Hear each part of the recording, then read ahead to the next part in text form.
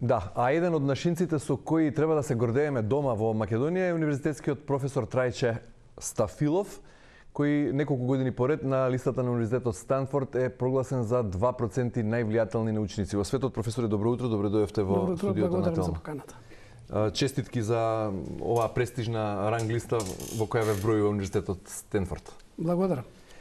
Професоре, неколку години сте во пензија, но и натаму неуморно работите во областа на хемијата на животната средина. И денеска би сакал да зборуваме за загадувањето како феномен од кој Македонија со години не може да се ослободи. Веројатно не презема ништо државата и заради тоа е така. Но јас би сакал да ја прашам дали од перспектива е од 5 години надвор од универзитетот, односно погледнато од оваа перспектива, дали ве фрустрира фактот што целиот професионален век, целата кариера ја поминавте во науката истражувајќи на, на оваа проблематика, а Македонија е се позагадено место за живење, односно се позагадена животна средина? Кога зборуваме за загадувањето или зголемувањето или порастот на загадувањето, треба да имаме предвид дека а, со новите технологии, со новите инструменти, начин на следење на загадувањето, ние добиваме многу пософистицирани технологии за следење на загадувањето и имаме многу повеќе информации од колку што сме имале порано. Сакате да кажете е присутно... дека, дека Скопје бил еднакво загаден град и кога вие сте почнувале со вашата професорска... Е, јас ќе ви кажам една информација, например, за споредба. Кога со проектот на Јапонската агенција за меѓународна соработка JICA го воспоставувавме првиот мониторинг систем за аерозагадувањето автоматски 1997 година. Се уште не беше не беа топланите и не работеа на газ, туку работеа на мазот, кој што во тој период и предходниот период се користеше мазот со висока содржина на сулфур. Ние тогаш имавме загадување во Скопје во вакви периоди како што ги имавме минатата недела и оваа недела. А, со 500 до 1000 микрограми на метар кубен сулфур диоксид.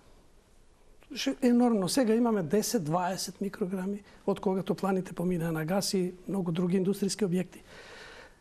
Имаме многу пософистицирани инструменти, следиме многу повеќе параметри од што сме следеле порано. Начинот на кој што сме го следеле е друг. Сега имаме онлайн мерења, тогаш среднодневните, односно еднаш се анализираа примероците кои што собираа примероци од 24 сати. Така што и тоа влијае на новите сознанија да ги имаме и да мислиме дека порано било многу почисто отколку сега, што е со случајот со сулфур диоксид, да не зборам за азотни оксиди, за прашина и така натаму. Порано не се вршеа и мерење на честички според гранулацијата, според големината на честичките, туку само се викаше црн чат, се анализираше колку има, има. како генерална прашина. Да, и Се... тогаш Скопје беше во топ 10 градовите во да, светот да, абсолютно. по загаденост? Многу позагадено отколку што имаме и сега податоци. Така што новите новиот начин на следење автоматски, континуиран на многу повеќе места ни дава повеќе информации за да Што е добро, бидејќи во таков случај ќе можеме да преземаме мерки, нели? Тогаш не сме биле свесни, сега барем сме свесни. Сега тоа не треба да биде утеха, меѓутоа треба да точно да не така, алармира и да не води сега, да преземеме нешто. Бидејќи имаме многу повеќе информации, можеме да преземаме многу посериозни мерки отколку порано и ако проблемот со употребата на мазот, на јаглен го знаевме и тогаш и затоа и се помина на гасификација на топланите. И повторно останавме нај, најзагаден град еден да, од најзагадените да, во светот. Да. И покрај тоа што мазутот го исфрливме од употреба за грејење. А, причини има многу, е многу е комплексно прашање. Проблем, проблемот е многу комплексен. А, Македонија и Балканот кој што го спомнавме пред малку а, има во принцип а, влијание и климата. Ние имаме микроклима во котлините, која што во одредени периоди во декември и јануари посебно најизразени, кој имаме ефект на температурна инверзија. И во таков случај температурата на повисоките слоеви од воздухот е повисока и слоевите во самата котлина, воздушните маси, во одсуство на ветер, не комуницираат со горните слоеви и немаме ни хоризонтални движења и останува тој воздух долг период, недела две, со дополнителна емисија континуирана на загадувачки субстанции. Концентрациите растат. Така што тој ефект е присутен значи, и она што треба да направиме да го намалиме, да ја намалиме емисијата. Значи може да да резимираме на некој начин дека загадувањето во Скопје, во Македонија и на Балканот генерално е судбинско, географско, така ни е одредено поради формата на, на теренот, поради релјефот и не можеме многу да, да сториме. Можеме да влијаеме, да имаме и други такви примери Но чуди во светот. тука збунува фактот што Македонија, Скопје често е рангирано во е, на листата на градови се наоѓа во друштво со градови кои не се слични по географска положба и релјеф. Например, во Улан Батор, во Монголија, е во средиштето на Азија, на азискиот континент. Потоа имаме Пакистан, Афганистан, некои градови од Индија, кои е, немаат сличност со Балканот, ниту географски, ниту метеоролошки, јас би, веројатно? Јас би додал дека и во Европа имаме ние слични, во Западна Европа бе по-конкретно, имаме слични географски подрачја. Па не се загадени Па не се како... толку загадени како што Така, како тоа е што другата имаме ние. страна на медаљата. Тоа значи дека таму се преземени мерки. Она што реков пред малку, тоа што можеме да направиме е да, го, да ја намалиме емисијата на штетни субстанции. Да, еве, веројатно сте истражувале како тоа го, го направиле поразвиените градови или поголемите градови од нас. Например, Лондон во 50-тите години на минатиот век имал сериозни проблеми со маглата. Да. Тогаш така ја нарекувале, веројатно и тамо се уште не биле свесни и не можеле да ги мерат големината на частичките со кои се загадува Да. градот и што дишеле тогаш лондончани. Да. Меѓутоа во неколку децении успеале Точно. сериозно да да направат исчекор голем во однос на аерозагадувањето. Иако и Точно. Лондон не може да го споредуваме со со Скопје таму постојано дува Да, некој да, да, ветер, да, да. бидејќи е нели Ламанш, Атлантикот од другата страна. Е сега кои се искуствата на Лондон, на некои други поголеми И градови, други градови, да. кои имале сериозни проблеми со со загадувањето, па го решиле? Јас на ова прашање ќе одговорам на коментарот на еден колега од Холандија со кој што на еден научен симпозиум разговаравме на таа тема. И тој рече да, пред децени и децени свативме дека вака не може повеќе. И нашиот премиер стана мини... премиер за животна средина. Сите министри, о, не само министерот за животна средина, сите министри станаа покрај својот ресор и министри за животна средина. Целата влада, целата нација се фокусира на решавање на тие проблеми. Информациите од проектот на Светската а, здравствена Светската банка во кој што учествува колегите од Институтот за здравје дека неколку илјади луѓе во Македонија умираат Годишно. годишно како резултат на аерозагадувањето. Треба да биде алармант момент за аларм да се поставиме и ние на таков начин. Цела влада да стане министри за животна Да стане влада покрај другите обврски, приоритет да биде животната средина и загадувањето. Ако сега таа проценка на Светската здравствена организација и Институтот за јавно здравје вели дека околу 3000 луѓе во Македонија годишно се жртви поради аерозагадувањето, директна последица, колку било тој број кога сме немале сознание во годините пред 90-тите кога Веројатно сме... повеќе. Веројатно повеќе затоа што е, ние во периодот ако зборуваме 60-тите години кога Македонија почна индустријски да се развива и многу индустријски објекти беа изградени, а работеа децении без а, заштита на животната средина, без филтри, без станици за пречистување на отпадни води и така натаму и така натаму. Загадувањето беше енормно. А ако зборуваме, на пример, за, за градот Велес, каде што е, почетокот на 70-те години почна да работи топилницата во Велес за олово и цинк, таа до затворањето во 2002 година работеше без ниеден филтер. А преработуваше оловни и цинкови концентрати во кои што концентрацијата на олово и цинк беше 50-60%. Значи, токсични, отровни субстанции се емитираа во воздухот. Да не зборуваме дека третманот на концентратите беше со нивно жарење и добивена на сулфур диоксид, кој што беше зафаќен по тој производство на сулфурна киселина имаше топилницата. Понекогаш тие системи откажуваа концентрацијата на сулфур диоксид беше немерлива, енормна. Добро, сега последниве години со денови наназад во овие зимски денови, особено месеци, главен загадувач е се ПМ 2,5 частичките. чија концентрација според мерењето на IQR после 15-16 часот кога веројатно се засилува грејењето во домовите е три пати поголема од годишната вредност она што ја дозволува Светската здравствена организација. Што што ги произведува тие ПМ2,5 честички? Што се всушност тие ПМ2,5 честички? Неколку студии се изработени за потеклото на, на цврстите честички Инаку, од аспект на терминологија. Кратенката ПМ или на англиски PM, или, представува кратенка од англиските зборови particular matters, која што значи цврсти частички. Така што PM частички е погрешно да кажуваме како термин.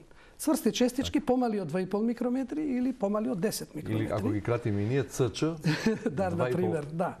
А, изворите за присуството на, на цврсти частички во воздухот а, во според овие студии доаѓа од повеќе места. Употребата на на на огрење, загревање со дрва и со јаглен е еден од најголемите извори, бидејќи тоа се одвива во домаќинствата кај што немаме контролирано грејење, горење. И при тоа емисијата е енормна сврсти честички. Ние сме вршили мерења на оджаци од кучи, пример. Изворедно високи концентрации на саѓи. Гледате вие црн чат, значи тоа се тие цврсти честички. А, потоа согорувањето на мазут, исто така индустријата, па и имаме институции кои што се уште имаат интерно грејење на користејќи мазут, исто така емитира и сообраќајот бидејќи возилата во издувните гасови исто така емитираат сврсти честички. Посебно поситните и помалите кои се многу поопасни здравјето. Причината за нивната токсичност е во тоа што помалите честички, затоа се одредени 2,5 микрометри, бидејќи со такви димензии тие честички се задржуваат во белите дробови че кои ќе се внесат, остануваат и во алвеолите и не можеме ние на никаков начин да ги или многу тешко да ги сврлиме. И тие дури и да се неутрални хемиски. А не се неутрални? Туку се токсични? Во вакви услови во на пример во во Скопје не се само неутрални. А, тие предизвикуваат ефект на на, на страно тело во, во организмот и организмот се бори и се до, доаѓа до воспалителни процеси во белите дробови. Најранливи се децата и повозрастната категорија. И затоа ние ваква состојбата со заболување на белите дробови, на дишните органи, многу. Она што е посебно загрижувачко кај е, овие честички е што тие најчесто настануваат има тука и градежништвото ефекти, несреденоста на, на земјиштата и така натаму, Но она, оние честички кои што произлегуваат, а најмногу произлегуваат од процеси на горење, при горењето се создаваат и многу други токсични субстанци, субстанци хемиски, посебно органски хемиски субстанци, кои што се задржуваат во овие цврсти честички. Не се присутни само како гасови во атмосферата, кои што исто ги внесуваме, туку и во самите цврсти честички. Ние на тој начин не само што внесуваме неутрални цврсти честички, да речеме, јаглерод, саđите се тоа С, јаглерод, туку тие имаат абсорбциона способност извонредна и ги задржуваат овие токсични органски субстанции кои што во организмот постоја се а, а, внесуваат во крвта и делуваат токсично на различни органи. Еве во оваа подолга елаборација на, на последно прашање ги рангиравте на некој начин главните фактори на загадување во Скопје и прво тргнавте од грејењето на домовите, да. загревањето. И тоа е веројатно аргумент несоборлив по сите истражувања, меѓутоа зошто тогаш и во летните месеци кога нема грејење, Скопје е сепак загадан со високи вредности на загаденост на воздухот и повторно е во, во тој светски не, топ. Не толку високи, но не толку, но сепак Но тогаш имали... остануваат другите извори за кои што зборувавме. Има ли простор за оние на ниво на теорија на заговор се дека во Македонија се гори токсичен отпад, на пример, кој го увезуваме од Европа. Имаше некои нели истражување, истраги новинарски повеќе истраги на колеги кои дојдоа до некои сознанија дека од Италија носиме отпад па ги гориме тука во печките на Дрисла. Надлежните институции укажа дека нема докази за за тоа. Ние опасен отпад гориме само на дрисла и тоа медицински отпад. Порано печката која што се користеше не беше најсоодветна. Немаше филтри соодветни, сега е нова печка и според укажувањата надрисла дека нема емисија на штетни субстанции од таквата печкана. Званично од институциите немаме информации дека таков опасен отпад се гори во Македонија. Да, меѓутоа реалната состојба дали може да укажува на нешто такво со оглед на тоа што рековте освен конфигурацијата на теренот на Балканот, мене ме збунува тоа што ајде Скопје, котлина е, обколени сме со планини, често нема ветер, па може би да биде причината тоа. Како може еден Белград, град во кој течат две големи реки се спојуваат, кој е на брдо, кој има поголем поголема количина на воздушни струи, да биде исто така во, во врвот светски на, на, на аерозагадување. Од тука произлегуваат оние теории што ги велам, може би на ниво на теории на заговор, дека на Балканот се случува нешто што не се случува во Европа. Сепак, јас би рекол дека зголемените концентрации во останатиот период од годината, неспоредливи се со овие во зимскиот период, се резултат и понатаму на согорувањето на мазот за индустријски потреби, од една страна, од друга страна сообраќајот ни е и понатаму густ и интензивен, а би додал на тоа дека ние имаме многу стар возен парк. Да. Го, а, имаше такви Согорувањата во таквите возила се со ефекти на емисија на високи концентрации на отпадни хемиски субстанции. Со зголемувањето на старосната граница Абсолютно. за увоз го, увез, го донесовме тука автомобилскиот крш од Европа. Точно и... така, затоа во Европа се ослободуваат од таквите возила и воведуваат критериуми евро и така натаму категории кои што кај нас заради веројатно социјалниот ефект не ги забрануваме, дозволуваме да се увезуваат толку стари возила кои што емитираат вакви субстанции во големи концентрации. Она што мислам дека а, треба да се дополнително истражи, а немаме доволно информации за тоа, е, е во автоматскиот мониторинг систем или независно од автоматскиот мониторинг систем да се врши и да се следат концентрациите на други токсични субстанции. Ние малку параметри следиме. Важни се тие што ги следиме, но уште поважно е да следиме и органски, хемиски, загадувачки субстанции кои што се емитираат при горење на нафта, нафтени деривати, бензин и така натаму. Кој по-конкретно на кои субстанции мислите?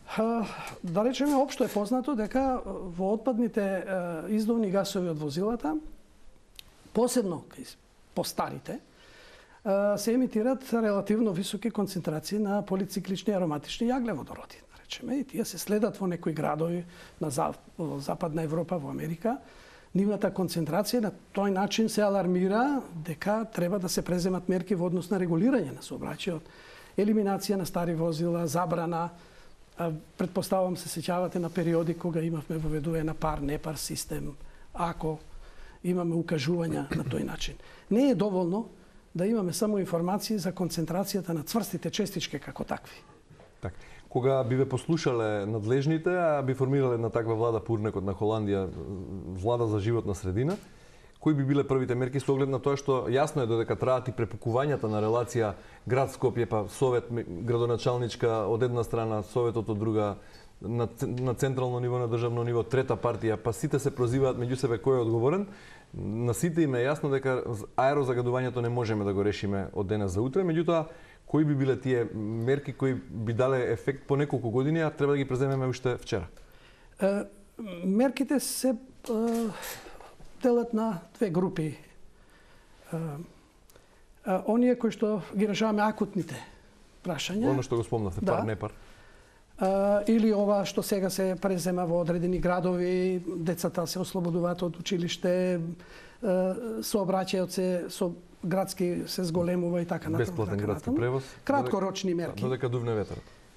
А она што отсуствува се долгорочните мерки или а, успорување на преземање на долгорочни мерки, јас би рекол. Да речеме, јасно беше многу одамна дека гасификација е необходна Значи, елиминацијата на јагленот и на дрвата и на мазутот е необходна мерка во овој поглед. Многу споро, освен топланите што ги гасифициравме, главните во Скопје, нискиот стандард на населението доведува дури до луѓе кои што се приклучени на парното грејење да се откажуваат, што е Јас што е лоша мерка. со една мерка што ја спровела Словенија, бидејќи и тие таму пред 20 на години имале проблем со аерозагадувањето, па анализирале, истражиле и сватиле дека а, дрвата што ги горат за огрев треба да бидат одстојани неколку години за да бидат добро исушени, да не бидат сурови, да не гориме сурови дрва. Ние во македонски шуми тоа го знаат веројатно надлежните, меѓутоа не го практикуваат. Што е толку тешко дрвата за огрев бидејќи најголем број од населението во Македонија се уште се грее на дрва, тие дрва да бидат одстоени и нели како такви помалку емитираат загаденост во Многу е добра мерката, меѓутоа вие знаете ли дека имаме информација од македонски шуми дека огромен процент од дрвата кои што се користат за грејење се од од дрвокраци нерегистрирани и така натаму. Значи, влошена е и таму состојбата, но она што е најважно е необходна класификација не само на за сега топланите и дел од индустријата, току како во Словенија до секоја куќа да користи газ. Се елиминира во грејењето на што е можно повеќе. Ние имаме систем за парно грејење во Битула кој што не работи децени и децени. Сега дури има преземени мерки да од рек Битола да се поврзи системот за грејење во Битола. Други градови ние немаме со парно грејење. Значи, такви мерки генерални, долгорочни, ние гасификацијата ја спроведуваме долг период. И тоа само линиите до, до одредени градови, а потоа инфраструктура немаме за тоа. До секоја куќа, до секој индустријски објект да имаме линија. Дури и во градови во кои што имаме инфраструктура, малку се, град, се користи гасот, како што е Крива Паланка и Куманово, например. Треба тука многу повеќе мерки, субвенции, ако треба, и ефекти, за да барем тоа што го имаме, и да го интензивираме до максимум. Во однос на возилата, се плашам дека да се замени возниот парк постепено. Се плашам дека од аспект на да нискиот стандард на населението нема да се преземаат мерки во еден краток период, веројатно тоа ќе биде долг процес, а тоа ќе не чини загадување и понатаму. Добро, како хемичар за животна средина не можам да не ве прашам кој се освен аерозагадувањето кое е актуелно особено во овие денови во зимските месеци, кои се најжешките еколошки точки во Македонија, не само во однос на аерозагадување, туку и генерално, со оглед на тоа што многу луѓе кои се малку еколошки освестени си ја доживуваат собствената земја за жал како како депонија, како Македонија депонија, како европска депонија, односно како место за кое не водиме доволно сметка од ниту еден аспект.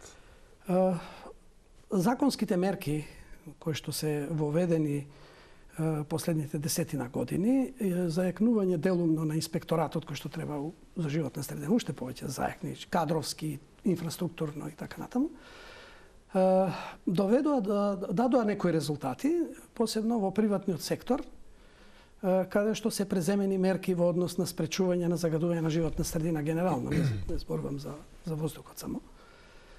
И преземени си имаме позитивни примери. Преземени се мерки. Јас само ќе ги споменам примерите со реконструкцијата на филтрите во Макстил и Фени, кои што ги чинеа собствениците десетици милиони евра, но беа приморани тоа да го направат, инако им предстоеше затворање. Југохром е затворен или Силмак, затоа што не се изгради филтерот. Да, но Југохром е се уште закана за расчи изворот, нели? Тоа е тоа е друг проблем, значи дополнителен проблем.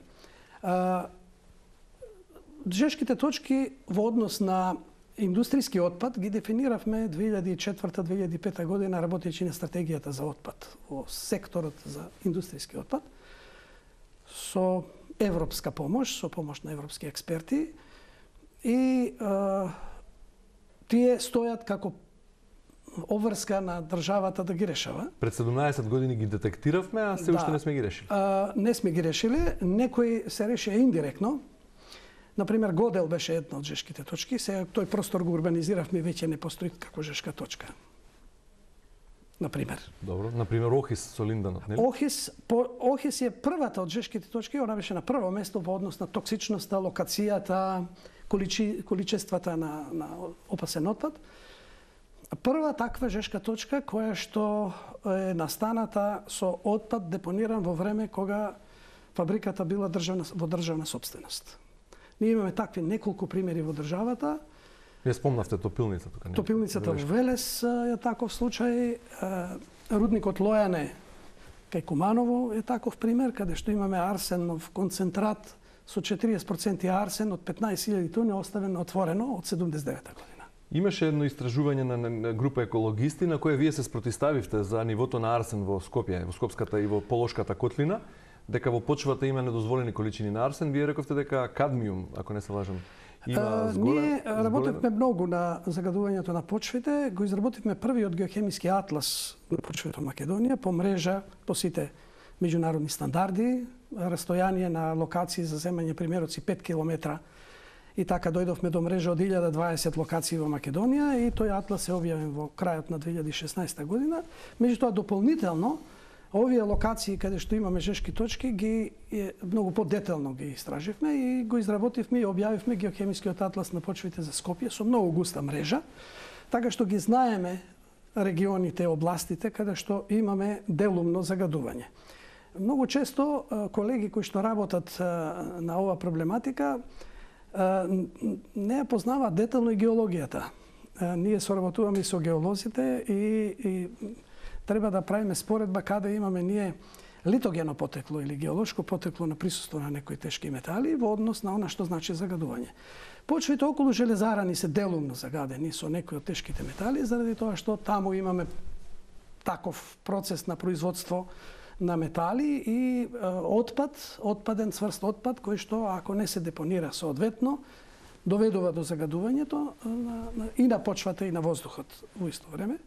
Само тој дел е делумно загаден со релативно ниски содржини, сепак во некој случај ги надминува одредени граници. Неку, само да кажам, колегите кога прават споредби, прават споредби со некои стандарди Други, ние во Македонија, на жалост, немаме правилник за максимално дозволени концентрации на штетни субстанции во почвите.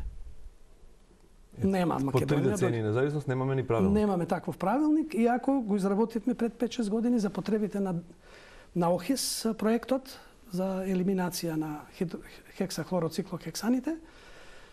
Меѓутоа, се уште не е донесен правилникот тој го донесува Министерството. Професоре, а, отпадните води од Југохром ги спомнавме, дали се тие закана за изворот од кој Се закана. Половина милион граѓани пијат вода? 2006 2008 година Европската унија финансираше feasibility студија, пред проектна студија, во која што се наведени ризиците, во која што се дадени можни алтернативи за решавање на проблемот и не е направено ништо во однос наједноставната беше покривање со вода непропуслива мембрана за да дождовните води не го растварат шест, солите кои што се депонирани таму покрај троската од производството на ферохром, депонирани се и хроматна мил од производството на хроматни соли, кои што во Јохром се произведувале своевремено. И делумно солите на во кои што хромот е во форма на шествалентен хром се растварат и одат во подземните води. Подземните води се детектирани уште пред 30 на години дека се контаминирани со шествалентен хром, а имаат комуникација, потоа колегите докажа и со радиоизотопи дека имаат комуникација со подземното езеро кое што го храни изворот Раче. Така што да, Значи предста... пиеме хром во некои дози. Не, за среќа, Од издашноста на, на, на, на водите, хранењето со шарските води од карстниот дел е толку големо да се уште не сме детектирале. Колегите од лабораторијата на водовод секој дневно вршат такви анализи, не се докажа до сега, не се покажа хром 6, но потенцијално во еден подолг временски период постои ризик и таму необходно е да се преземат. Верувате во тие анализи? Пиете вода од чешма? Да, да, да, да. да. А, добро. Па и ние сме ги правеле тие анализи така што Професор, по се ова што го чув, а, кога рековте да детектиран проблемот и дадени се можни солуции за решавање на отпадните води од Југохром? Пред колку години? 2008 ми се чини дека фисибилити значи, студијата е направена, а преземени се мерки повторно со средства од Европската Унија да се зафатат површинските води. Така. Добро, 14 години детектиран проблемот и можни солуции дадени за Југохром да го решиме за да го заштитиме Рашче, не е направено ништо. 17 години рековте дефинирани еколошките точки со можни насоки како да се делумно решен, за, односно некој, само за Охис, Охис за е актуелен Охис сега. е, о, за Охис отпочна. Правилник немаме, како рековте, за Максимално максимални до- дозволени количини концентрации концентрации во почвата на немаме, така? Штетни субстанции немаме. како професор каква оценка би дале на сите надлежни за животна средина во изминатите години? Имаат ли преодна оценка за све што сме направиле на ова поле? Во обид да ја зачуваме Македонија здрава, чиста и и безбедна за сите. Комплексно е прашањето за да може да го оцениме едноставно со оценка. Се прават напори, треба многу многу повеќе напори. Многу поголем од поголем аспект, од повеќе сектори да се зафатат со решавање на овие проблеми, не може да, да го реши проблемот самото Министерство за животна средина. Целата сите надлежни затоа ги споменав, некако Министерство за животна средина. Да ви дојде таков студент на испит би му дале шестка или би го вратиле? Бидејќи постојат решенија, предлози, мерки за поголем дел од проблемите, би го вратил да ги препрочита, да ги научи, па потоа да се појави уште еднаш. Ви благодарам многу за гостувањето во Цинската тему. Почитувани, останете со нас. Во студиото се враќаат Цеце и Кате и продолжуваме со редовните содржини. Следете.